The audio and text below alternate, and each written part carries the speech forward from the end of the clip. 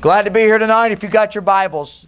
2 Kings chapter 4 and verse 19. 2 Kings chapter 4 and verse 19. You got it? Say amen.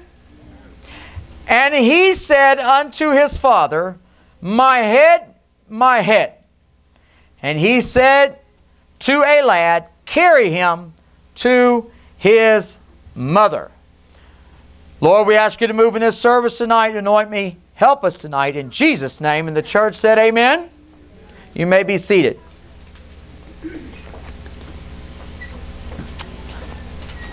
Take him to his mama.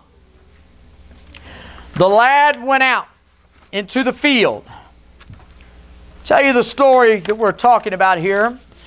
There was a Shunammite woman, and when Elisha would come by, she saw him one day, she saw the man of God, and she said, Hey, Mr. Man of God, turn into the house here and have a bite to eat.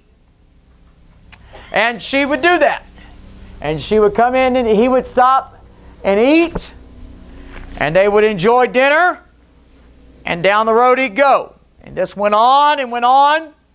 And one day the, the woman said to her husband, said, Hubby, why don't we build the man of God a room onto the house that he might rest himself as he passes by? I want to do more than just feed him. I want to give him a resting place. And so they built a room on the side of the house, and that was the preacher's room. And she put furniture in it, and she made it ready. And when he would pass by, he would come in off the road and uh, uh, eat a bite, take a nap, do whatever, and down the road he'd go. Well, one day the, the man of God came in. And he said, You know, this woman ain't done nothing but bless and to give. But what do you need, woman? And she said, I am of my own people. In other words, I got enough. We're good. I just want to bless you. We're good. And that, that worked out for a little bit, but, uh, the, but the Elisha said, You know, I just really would like to, to do something. And his servant Gehazi said, uh, well, uh, Elisha, I don't know if you realize it or not, but she has no children. Now, she's, you know, don't have any children, and her husband is up in age. Uh, it, it would be a good thing. So he calls her in, and she stands at the door, and he said, A year from now, you're going to have a baby. And true to form, there it was. Now, we don't have much between now, nothing, between that point and the time that the child is older. The child is grown. But I would surmise just by assumption, and, uh, and being careful assuming things because you know what happens when you assume, right? Makes a donkey out of you and someone else, not me. But uh, just write that word real slowly, you'll figure it out. But uh, they, it, it's, it, it'll mess you up. But we could pretty much just by track record continue on that every time that Elisha came by, he turned in for food, he turned in for, for a night's rest, and went on down about his road. And, and it was a good thing and a blessing to him all of those years that that child was growing. But when the child was grown, the child went out one day to visit his dad, who, if he was an old man back then, imagine how old he was now. But Got out there to see his dad, and while he was out there, he said, My head, my head. And they got somebody to carry him home. Brought him to his mama. His mama sat him down on his, her lap, and I imagine she held him and whatever. And the boy died. Graveyard dead. Laid him on the preacher's bed, in the bedchamber of the preacher that she had built. And she sent word to her husband, said, Send me a lad to get ready and take me to see the man of God. All is well. And off she went to the man of God. And as the man of God saw her approach, he grabbed Gehazi and said, Go, go, go, go, go see what's going on. All is well. Now she came to the man of God and she grabbed him And Gehazi's like, Get back, you dirty old. That was his job. Protect the man of God, serve the man of God. Don't allow anything to touch, corrupt, and hurt. And Elisha's like, Wait a minute. Can't you see this woman's broken? She's hurting. And that's when she told the man of God, the child, said, I told you not to lie to me. And he sent Gehazi and said, Go take my staff and lay it upon the child. Off he went. Now Gehazi must have been a doctor because when he got there, he come back out and he told Elisha, he said, He's dead. He's not responding. He's not breathing. He's, you know, he gave the official diagnosis, I guess. But I want to, in looking at this, we got a child that would not exist had it not been for a mother and a father. We've got a mom and dad that made up their mind to put something into a relationship with God, to get close, to allow their life to be affected by a relationship with God. And then when their blessing that came from that relationship became damaged, they taught that child the greatest lesson he could ever learn. Maintain your relationship with God. Job said, The Lord giveth and the Lord taketh away, but what? Blessed be the name of the Lord. I want to talk to you. If not for a mother or father, if not for a mother or father. You know, if it wasn't for that woman who was not a, of the people, if it wasn't for that woman, there would have been no child. Brother, I, I am like working really hard here. I can't hear myself at all. But if it wasn't for that, no child. If it wasn't for that woman maintaining her relationship, that child, thank you, would have been dead and gone and lost. Oh, I feel better already. There's a lot of other examples in the Bible. Let's look at a couple.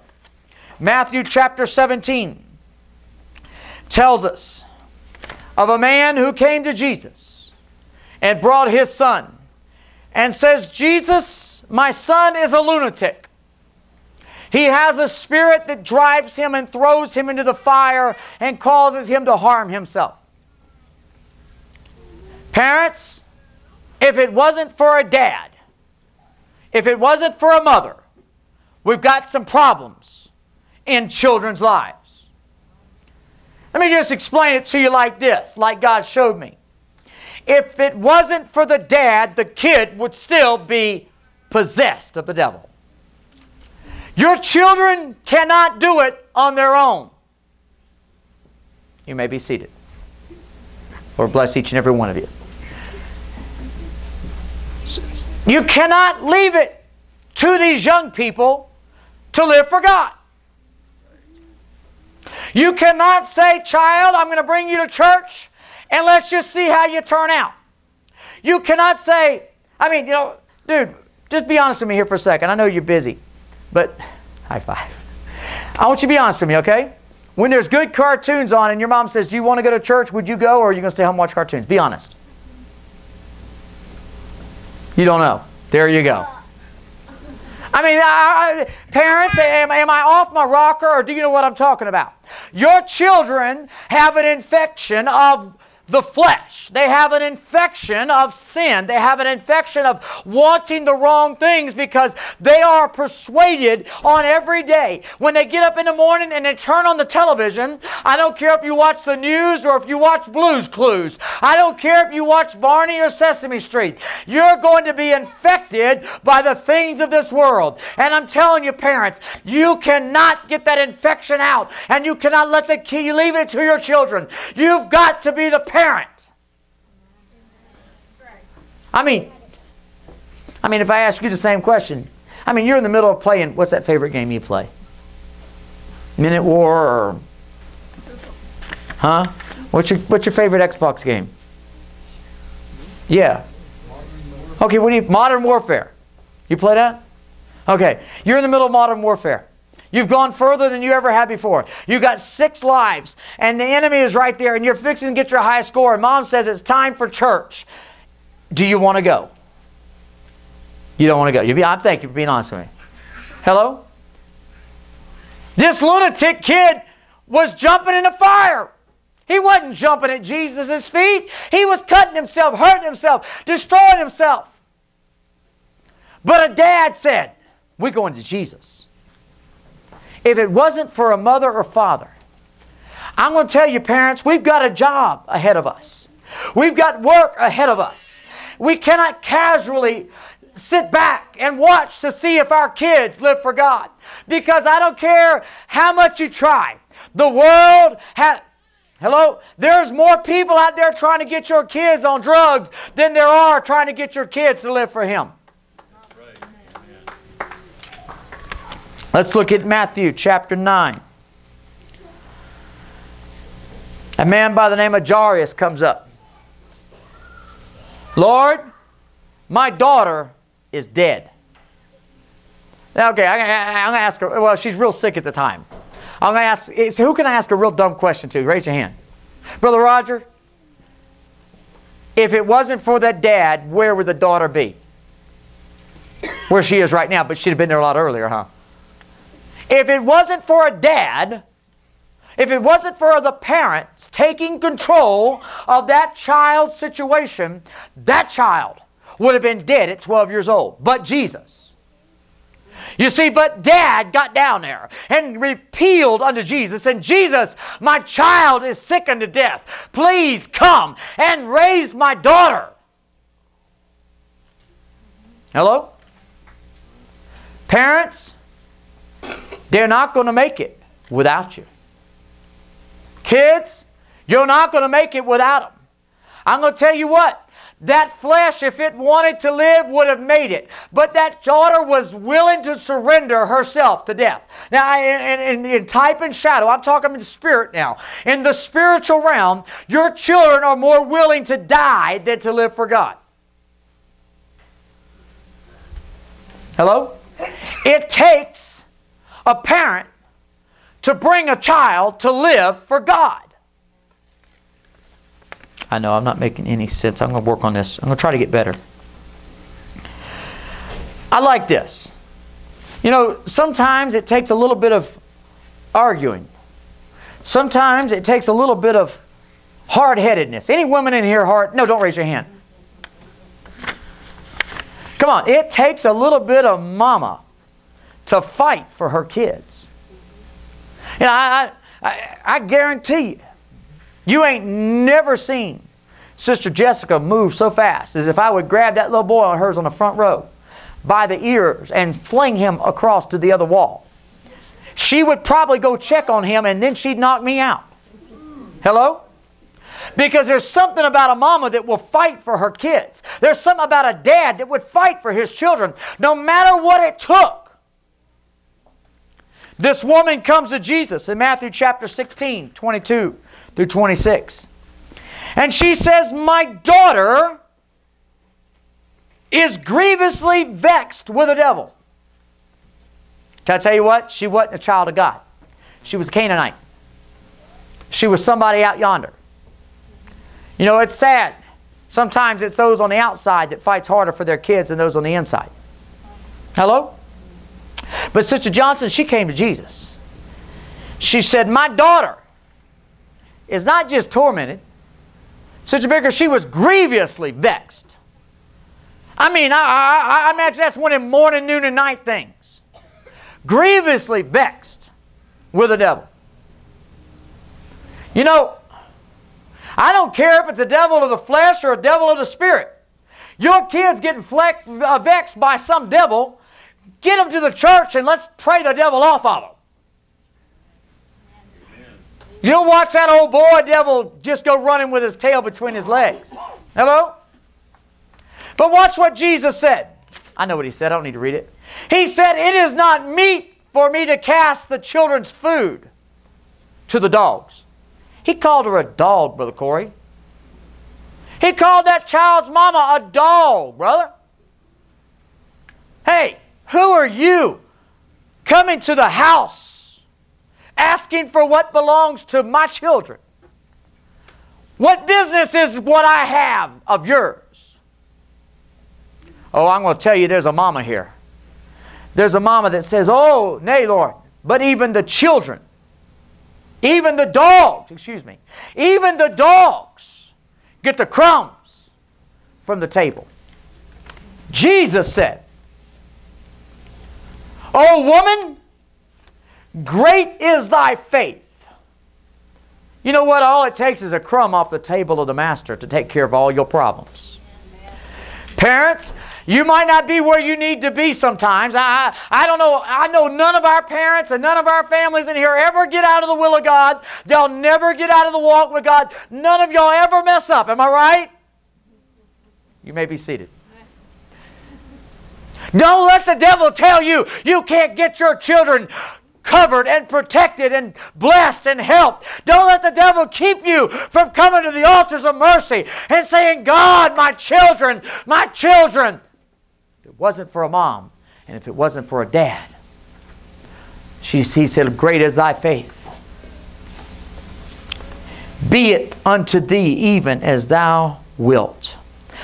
As much or as little as you chose because you were willing to fight. Could you, uh, you know, could, it's hard, Sister, Sister Johnson, it's hard to fight bitterness sometimes. It's hard. It's hard to overcome when you get, I mean, just, just, just come to God and let somebody tell you, you've done nothing more than a dog. You ain't nothing but a hound dog. You Canaanite woman. Hello? Well, fooey on him. Didn't tell me, so, he didn't tell me how good my, my cornbread dressing was.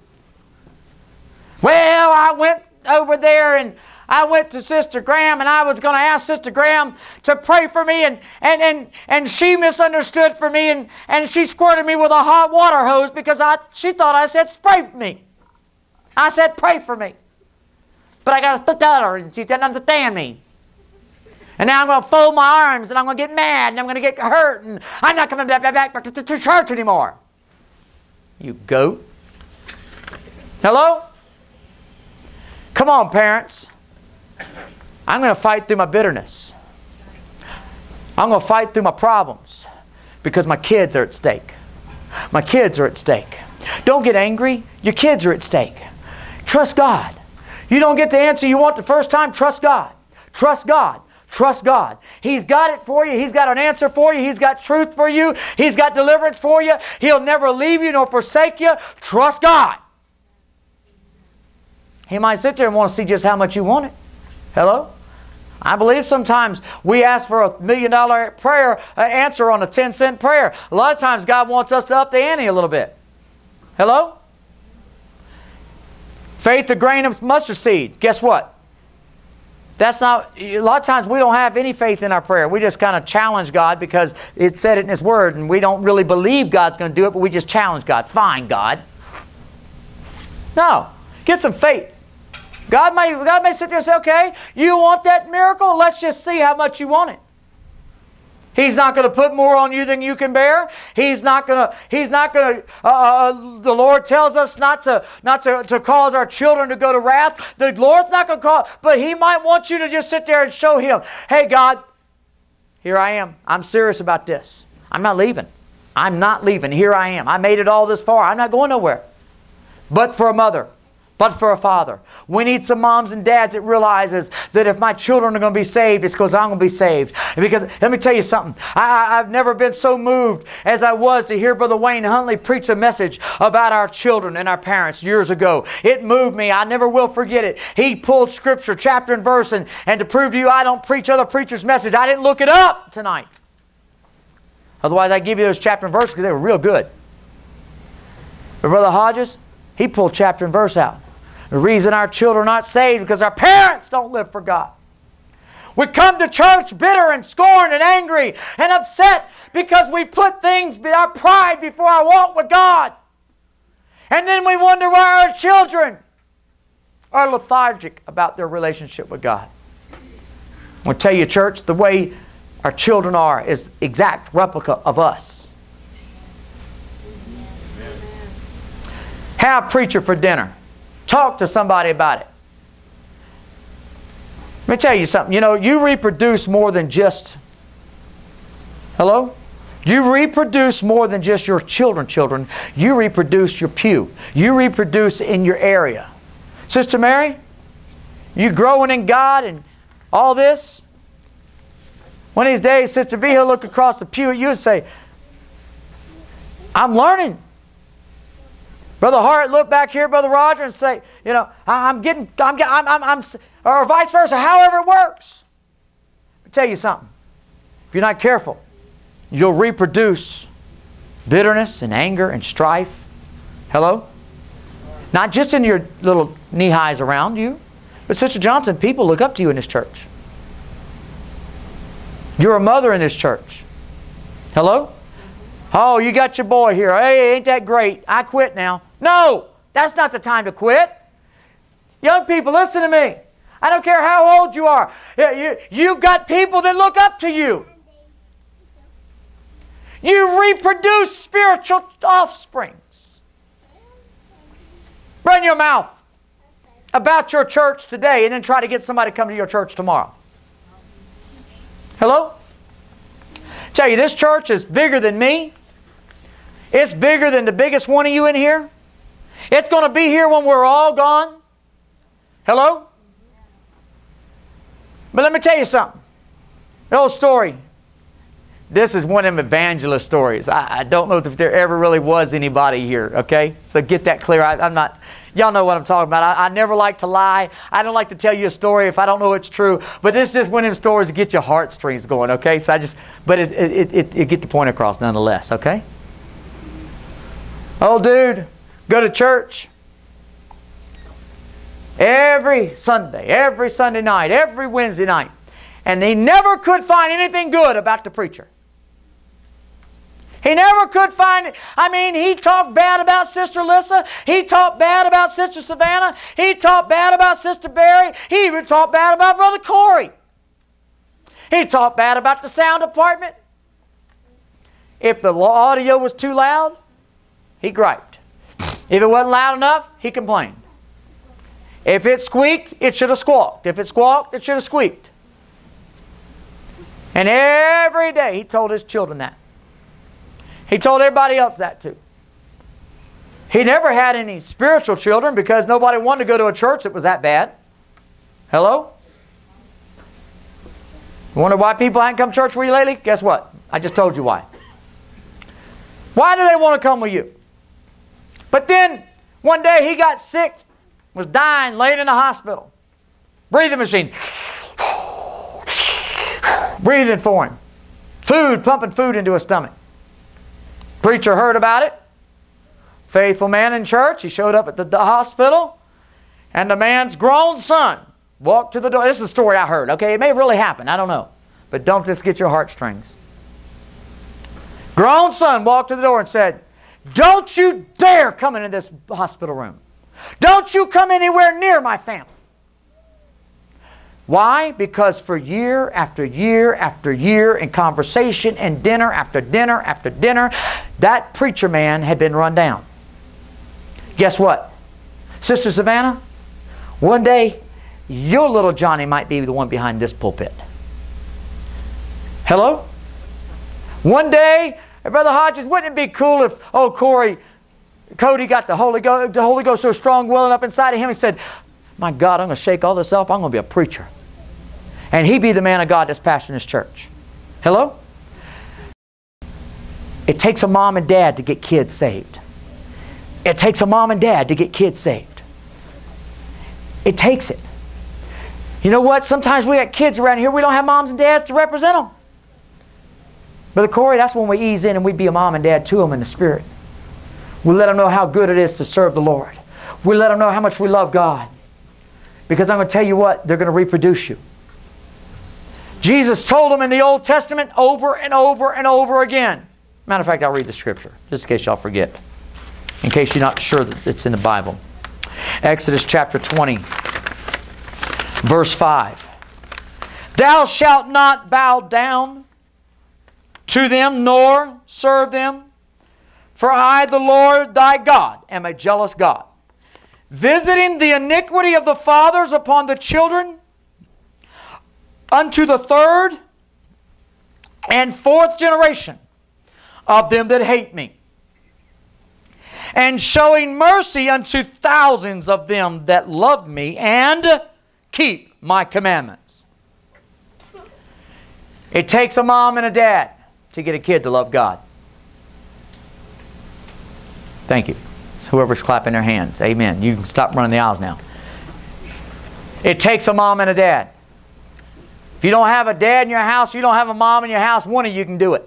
Amen. You can get up in the morning and say, Praise God. I'm going to I'm to show them how to live for God. I, am I'm, I'm not just going to, I'm not trying to pin merit badges tonight. But, Brother Corey, I thank you for your, your walk with God you've been developing. I, I, I feel good. I feel, I feel joy in that. You know why? Because, eh, because all of a sudden you're, eh, eh, it's like a magnet that people see you because you love and living for God. It's helping our children. It's helping our kids. Hello? Watch this. John 14, 15. If you love me, keep my commandments. Jesus said, keep his commandments. What was one of his commandments? Love one another. Love one another. Love the work of God. Love living for God. And your kids will love living for God. Your kids will follow in your footsteps. I'm trying to hurry right now. I'm almost finished. Watch what happens when we're not careful. Oh, daughters of my people, gird thee with sackcloth, wallow thyself in ashes, make thee mourning as for an only son most bitter lamentation. For the spoiler shall suddenly come upon thee. Come upon us, excuse me. Three times. Jeremiah, Amos, and Zechariah, probably more, referred to us removing our pride and getting a relationship of humility with God in order to keep from having the mourning of losing our children. Hello? I'm going to tell you what, there's nothing will disturb your mind worse than to see your children lost. Let me say that again, maybe you didn't hear me. Nothing will disturb you for eternity like your children being lost. The rich man was in hell the first thing that he thought of was get me out. When he got over and he realized that he wasn't getting out, what did he do?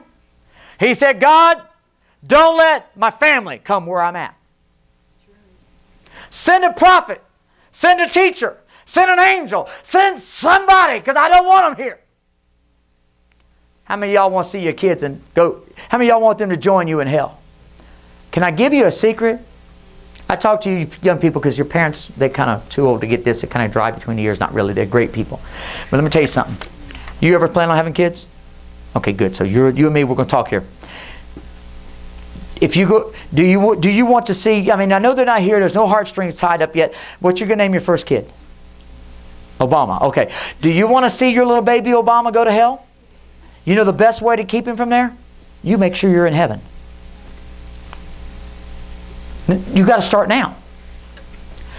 What about you? Do you want your kids to go to hell? You got to make sure you're in heaven. You got to make sure you're in heaven.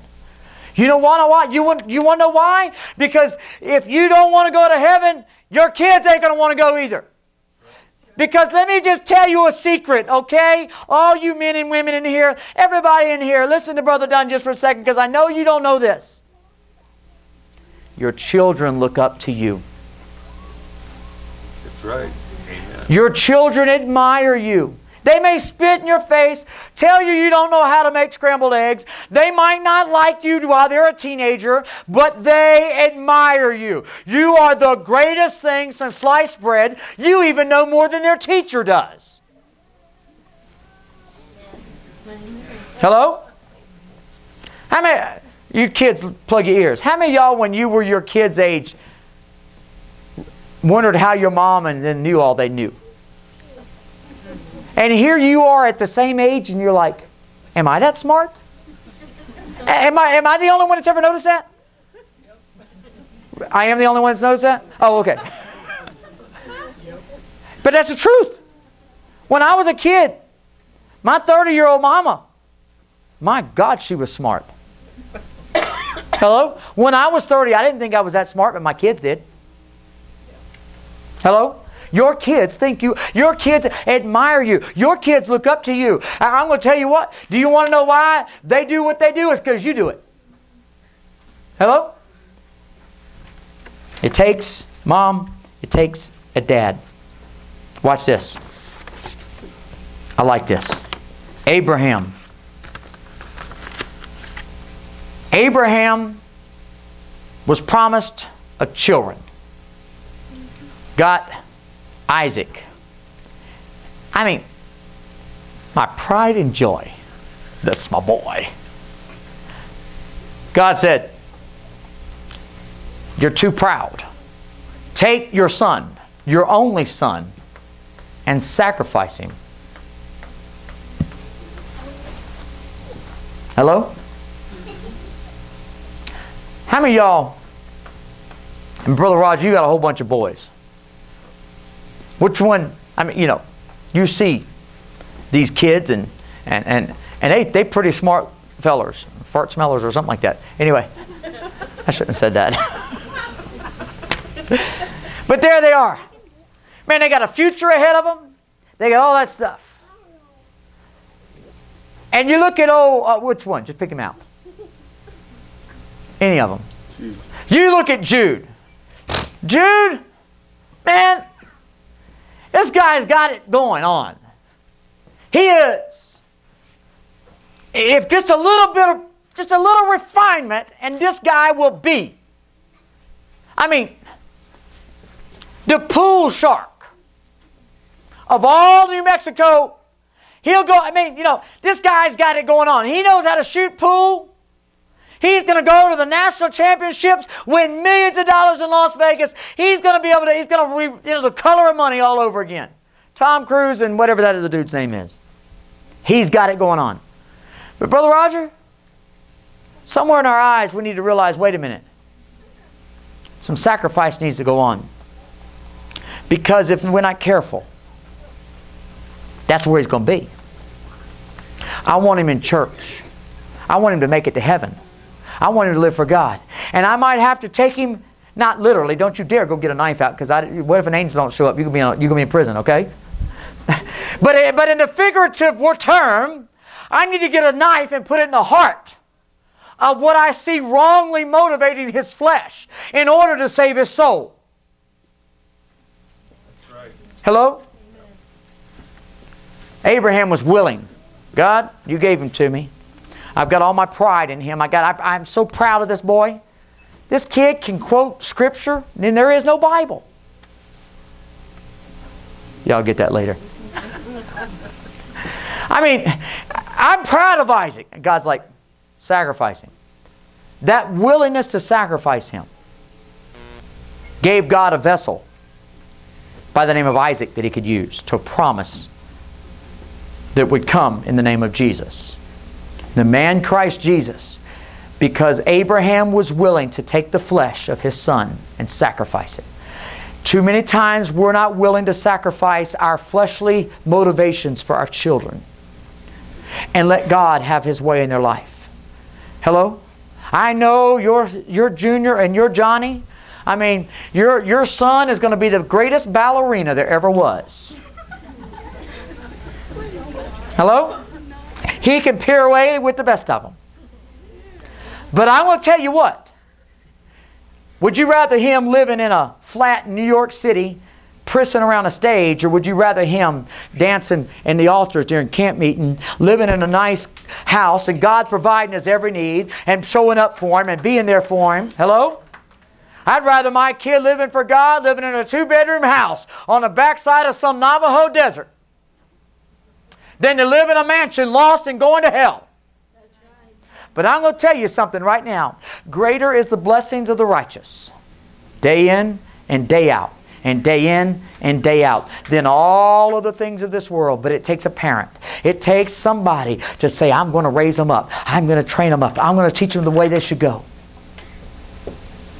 You know, I'm not going to talk about Jephthah The Bible says in Acts chapter 7 and verse 51 Ye stiff necked and uncircumcised of heart and ears. You know what that means? Your heart is wrapped up in the flesh, and your ears are wrapped up in the love of the things of the flesh. Hello? Jesus says it not, it's not what goes into the mouth that defiles a man, it's what comes out of the mouth because it comes from the heart. How does things get into the heart? Be careful what you see. Be careful of what you hear. Be careful of what you allow to enter into your heart because it will corrupt you. And your love of the flesh, watch what he says. Ye stiff necked and uncircumcised in heart and ears, ye do the same, ye do always resist the Holy Ghost. As your, anybody want to guess? Fathers do, did. And so do ye. What does that mean? You resist the Holy Ghost like your parents. Parents, you would like to see your kids have a better walk with God? You like to see your kids in the altar praying? You show them the way. You show them the way. Some of our parents in here, and I love each and every one of you, the only time you come to the altar is whenever you feel like your little Johnny or Susie's not doing right, and you drag them to the altar and you pray for them. You don't come often for yourself. You know what? Johnny or Susie's not either. Well, I don't necessarily always have to be in church. I don't have to be faithful. I'm going to tell you what. Your Johnny or Susie's not going to be faithful. Hello? Your walk with God is going to be reproduced in your children. The Scripture's clear. The Scripture is clear. Do you love the Lord tonight? Do you love God? The Bible says, Forsake not the gathering of yourselves together. Amen? I want my kids to go to heaven. Well, Brother Don, your kids aren't here. You know what? My kids watch. Hello? I got to see my daughter get up and grab that microphone and sing her little lungs out tonight while I was getting ready for this message.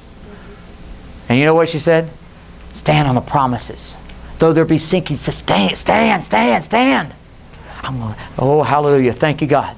Thank you, God. You know why? Because I don't want my kids to be lost. My kids don't know it, Sister Mary, but they don't have the common sense to get up and brush their teeth in the morning. But I'm going to teach them.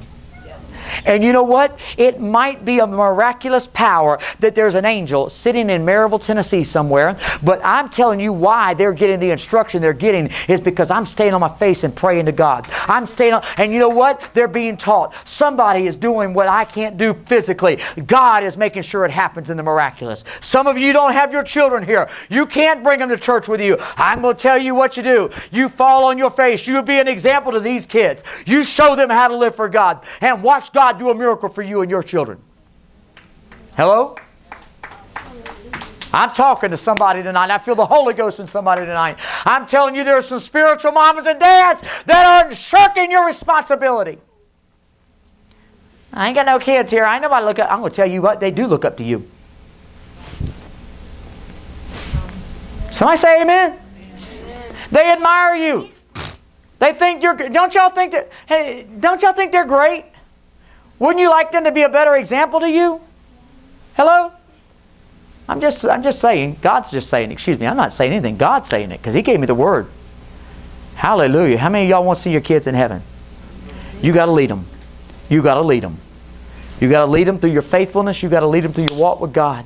Lord, if there's anything that I'm not right with you on, change me because I don't want my kids to be lost. Hello? Sister Johnson, I'm just picking on you because I looked up and I saw you. So don't, I'm not, I'm not getting on your case. So don't text me later and say, what am I doing wrong, Pastor? I'm so sorry. No. If there's anything that this man of God under the anointing of the Holy Ghost preaches that you have a hard time with, I'm going to tell you what. Make a sacrifice for your children and you do it. Hello? I'm going to tell you right now. I'm not going to get up here and preach something that God don't give me to preach. Brother Hodges, I can fill this church in two shakes of a lamb's tail. I can hire me a piano player that greases his hair just right. I can hire me a singer. Hello? Money? We can get money flowing. All I got to do is compromise. I want to get you to heaven. Hello? I'm going to get you to heaven. Brother Dunn, I don't know about that. You want us to repent? Really? That's not modern religion. That's that old fashioned stuff. Well, give me that old time religion. Give me that old time. Hello? I'm going to tell you what, I was brought up in the old time religion. I was brought up from what it cost. I got a granddad and another granddad that fought the mosquitoes and fought the bugs and brought this gospel. And I'm going to tell you what, I'm not going to compromise. But Corey, ain't nobody going to preach a straighter gospel than what I'm going to preach. And I'm not just trying to be hard for being hard's sake. You know why? Because that's a foolish attitude. That's a foolish religion. I'm going to bust my knees every day before I get up here to preach to y'all. I am not going to get up here and preach something that's just me. You want me to preach something that's me? You want to hear me? You want to hear me preach, Sister Graham? Everything is beautiful. Jesus loves you. All you got to do is just, it's okay. If you want to be a, you know, a pot smoking queer transvestite, oh, sweetheart, Jesus loves you. Let's go dancing on the streets of gold together. you want, oh, you don't want to stop hooking, but you want to live for Jesus? No problem. High five. Only five? Hello? We can pack this house. Every, forgive me, I'm not just picking on them, but every drunk in this town is a born again Christian. Hello? and we could raise money from all kind of places. But I'm going to tell you what we're going to do. We're going to have revival around here of a Holy Ghost outpouring. We're going to live a holy and upright life. We're going to preach peace. Hello? We're not going to be proclaimers, uh, uh, uh, professors. We're going to be possessors. We're going to possess the Spirit of God on the inside of us. We're going to reproduce it. God help us, we're going to reproduce it. Our children are going to be great people of God. Your grandchildren are going to live for God, run the aisle, shout, dance, worship God. Hello? But then why do you get out there and just get all excited? Why? Because I want you to get excited. I never understood it. I got a, I, I, well, I guess I still got a brother-in-law because God says I still got a wife until the day that I die. She's still hooked to me in the spirit. Not by her spirit, but by God's spirit. But man, I, them boys about to get a heart attack during the football game. I mean, every time Dan Marino throw a pass, Jeff Creech would come jumping up off the uh, couch screaming and hollering. And every time that John Elway throw a pass, T.C. Davis jump up off the couch screaming and hollering, back and forth and back and forth and back and forth. I couldn't keep up with them. I'm like, what? Just holler all the time. I'll tell you something. I got something to holler about because every time Jesus throws a Holy Ghost pass at somebody, every time Jesus puts a blessing on somebody, I want to rejoice. I want to scream and shout. I want to run the aisles. Why? Because God says He inhabits the praises of His people. I can scream for Elway all I want, and I can't change the outcome. But I can call on the name of Jesus and I can run and dance. I want to reproduce myself. I wish everybody'd say, y'all be careful when you go to that church. Man, them people crazy. Anybody want to go? Anybody ever used to go to bars, drink? Raise your hand, somebody. Sister Sarita? Thank you. Uh, there was about 10 other hands, but I saw you first. I've been there. But, but I mean, I, Not like I was. okay, okay, hang on, hang on. Uh, that's fine. You've been there. Sarita, get yourself together Friday night. We're going to a bar, it's dead. Everybody just sits back and goes, There's music playing, songs are going, and it's just, we all just sit back and we're real quiet. Would you go? No. If I'm going to go to a bar, I want to go to a place and not have the fun. Am I right? I, am I'm, I'm talking about, I believe this church ought to be a place that people come to to get an experience they can't get anywhere else. They can feel the power of the Holy Ghost from their head to their toe. They can be delivered from all kinds of problems, and God will give them joy and change their life and do something great. And I want to see, I'm telling you, parents, it's not going to happen until we get sold out. They're going to follow you. They're going to follow you. Amen? How many y'all want to see your kids get to heaven? If you do, stand to your feet. If you don't have a children, you want to see a children in this church get to heaven, stand to your feet and say, God, make me an example. Help me to be a sold out child of God. Lord, in the name of Jesus, God, I'm asking you to put parents in this church of spiritual children, both in the flesh and in the spirit. Lord, let us have a desire to live for you, to see our children loving you, worshiping you. Not to be hard, not to be a cruel parents, not to, not to be bitter or angry, but to be forgiving parents. Lord, let a spirit of forgiveness come through this place, God, so that we could show our children the joy of serving you. We need to be forgiven, God. In the name of Jesus. Hallelujah, hallelujah, hallelujah. Parents, be an example unto your children.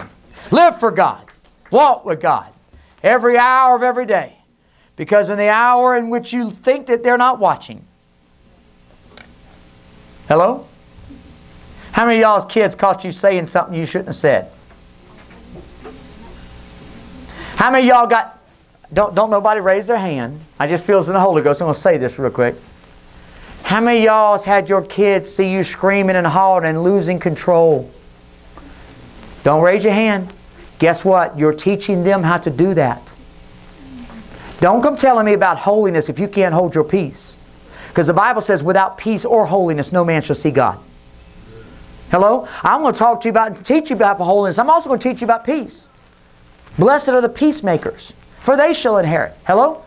I'm telling you, church, we got to be on it because our kids are watching. Our kids are watching. Kids, y'all watching, aren't you? You got your eyes open, don't you? Amen? Parents, love the Lord. You're dismissed in Jesus' name. See you here. Don't forget.